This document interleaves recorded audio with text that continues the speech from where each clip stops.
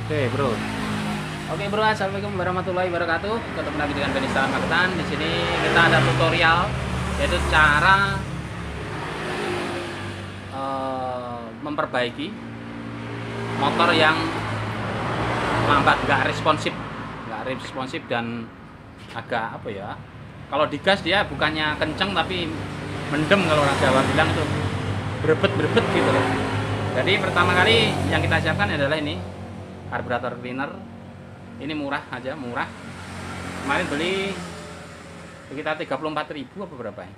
Ini stoknya bisa buat mobil bisa, buat karburator motor bisa, buat injeksi juga bisa. Yang penting kita buka dulu filternya, Bro. Kalau motor Scoopy ini filternya Nah, di situ ini sudah kita buka nih.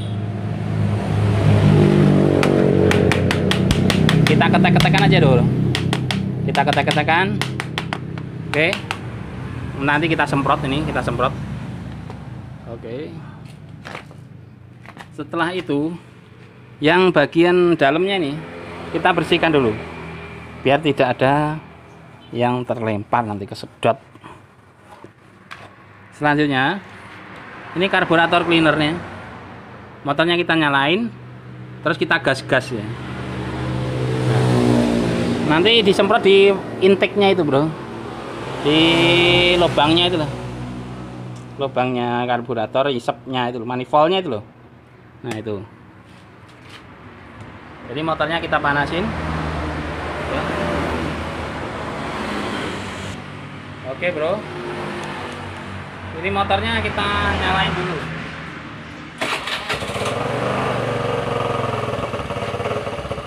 terus kita gas kita semprot-semprot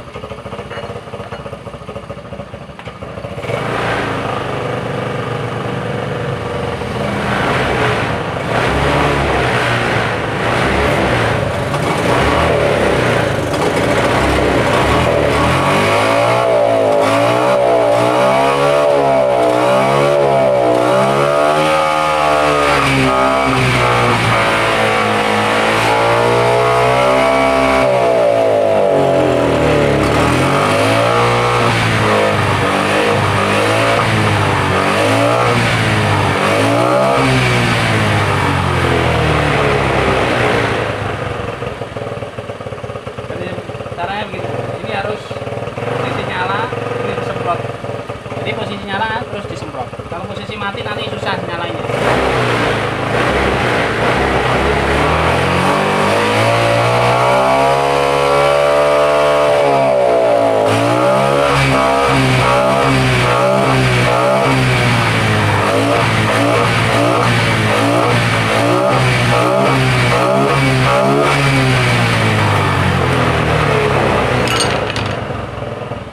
Oke, gitu aja bro.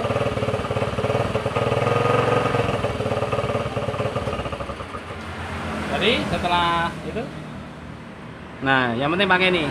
Jadi nggak usah kita bongkar-bongkar karburator, nggak usah bongkar-bongkar injektor, kita udah bisa mengembalikan ini kembali fit seperti seperti apa ya, seperti baru lagi. Jadi biasanya karburator kan dibersihin nggak karu-karuan, nggak usah yang pakai karburator cleaner motor ini udah kurang lebih 10 tahun nggak pernah saya bongkar karburatornya.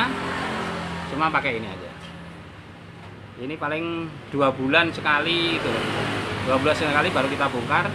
Sekaligus kita bersihkan filternya. Ini penting banget. Ini penting banget filternya oke gitu, gitu aja. Jangan lupa like subscribe uh, di komen-komen. Gitu aja biar kamu semakin ino oh, berinovasi. Jadi nggak usah dikit-dikit ke bengkel dikit-dikit ke bengkel. Ngabisin duit. Mendingan duitnya beli ini. Ini sekali untuk setahun kurang lebih itu aja. Assalamualaikum warahmatullahi wabarakatuh